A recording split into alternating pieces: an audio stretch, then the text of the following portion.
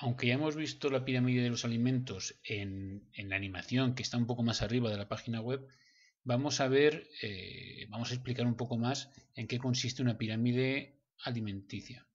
Hay varios tipos de pirámides. En este caso vamos a seguir esta con cuatro niveles, pero, pero hay variaciones respecto a esta pirámide. Básicamente lo que dicen es que los alimentos que están en la base de la pirámide hay que tomarlos con mayor frecuencia que los alimentos que están en la parte superior de la pirámide. Así, en la parte más baja de la pirámide, en el primer nivel, tenemos los cereales y derivados y las legumbres.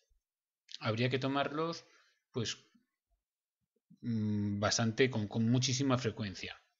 Con mucha frecuencia habría que tomarlos. Aportarían sobre todo glúcidos, que recuerda que los glúcidos van a aportar la mayor parte de energía que, de la energía que necesitamos. También nos aportarían fibra que ayudaría a la motilidad intestinal. En el segundo nivel tendríamos las verduras y hortalizas que también aportarían hidratos de carbono, también aportarían glúcidos, aparte de, de, vitaminas, tanto las verduras como las frutas. Habría que tomarlos también con bastante frecuencia. Es bueno tomar frutas y verduras mm, con mucha frecuencia. Subimos al tercer nivel y tenemos por un lado la leche, queso y derivados lácteos, como los yogures, que también aportarían proteínas, también sales minerales. Aquí nos pone que es preferible tomar los denatados y semidesnatados. Pues hombre, los desnatados totalmente, pues igual también perderían gran parte de la, de la, de, la, de, la capacidad de nutrientes que aporte, ¿no? Pero en principio habría que tomarlos sin, evitando las grasas.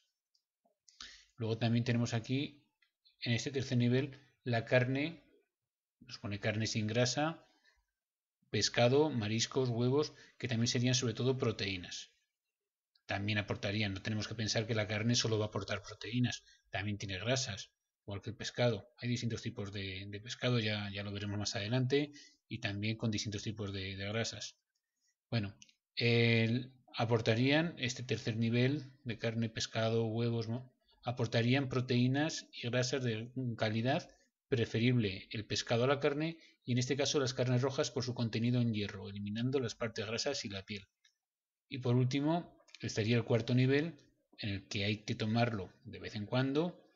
Es bueno comer de todo, pero, con moderación y, en este caso, pues, pues con poca frecuencia. La carne grasa, los embutidos, frutos secos, pero de forma moderada. Es preferible los aceites de origen animal a los de origen vegetal.